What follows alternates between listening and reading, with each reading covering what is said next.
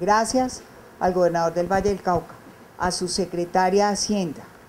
a su secretaria de Cultura, la crisis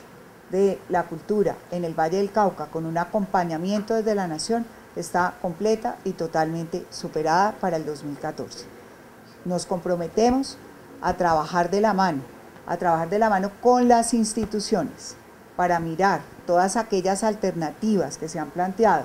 desde el Gobierno Nacional y desde el Departamento para garantizar una estabilidad en esas instituciones en el futuro inmediato.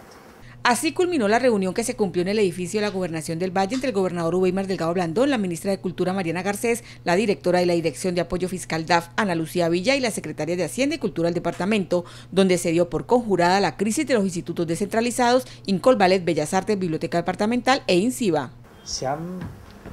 eh, comprometido a, ser solidarios con nosotros en la búsqueda de las soluciones y nos van a acompañar. De tal manera que la gobernación da total plena tranquilidad de que vamos a pagar eh, en estos próximos 3-4 días al martes, como asegura la eh, Secretaría de Hacienda, y garantizamos los recursos del segundo semestre a medida que vayan entrando eh, las rentas del departamento. La secretaria de Hacienda, Alba Leticia Chávez, resaltó que el departamento está pagando sus deudas de acuerdo al flujo de caja.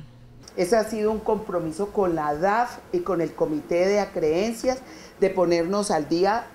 una proyección eh, de, de, gastos de acreencias por el orden de 340 mil millones, de las cuales hemos ejecutado 225 mil millones. Durante la reunión también se habló de un acuerdo con estas entidades para buscar proyectos que financien los costos administrativos y se puedan conseguir recursos de la nación y del municipio. He solicitado el acompañamiento de la ministra para que con el Ministerio de Educación Nacional, pues de, pronto eh, estas instituciones de educación puedan, por el mecanismo de Sistema General de Participación, entrar a tener un apoyo de la nación.